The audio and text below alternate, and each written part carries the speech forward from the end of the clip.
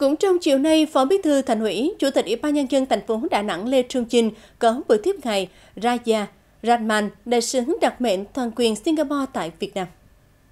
Tại buổi tiếp, Chủ tịch Ủy ban nhân dân thành phố Lê Trung Chinh chúc mừng ông Raja Ratman được bổ nhiệm làm đại sứ đặc mệnh toàn quyền Singapore tại Việt Nam – Chủ tịch thành phố cũng giới thiệu khai quát tình hình kinh tế xã hội của thành phố thời gian qua, mong muốn ngài đại sứ tiếp tục kết nối các nhà đầu tư, các doanh nghiệp Singapore có năng lực tài chính, công nghệ đến tìm hiểu về môi trường đầu tư kinh doanh và cơ hội hợp tác tại thành phố Đà Nẵng và nhấn mạnh thành phố luôn tạo điều kiện để các doanh nghiệp FDI nói chung, doanh nghiệp Singapore nói riêng hoạt động hiệu quả. Cảm ơn sự đón tiếp nồng hậu của lãnh đạo thành phố. Đại sứ Zaya Radman bày tỏ ấn tượng tốt đẹp của bản thân và đoàn công tác trong lần đầu tiên đến với Đà Nẵng, đồng thời cho biết trong nhiệm kỳ của mình tại Việt Nam, ông sẽ tích cực làm cầu nối phát triển những lĩnh vực có nhiều tương đồng giữa Đà Nẵng và Singapore như giáo dục, hạ tầng, chuyển đổi số. Singapore là đối tác thu hút đầu tư quan trọng của thành phố Đà Nẵng. Hiện thành phố có 31 dự án FDI Singapore với tổng vốn đăng ký là hơn 838,6 triệu đô la Mỹ,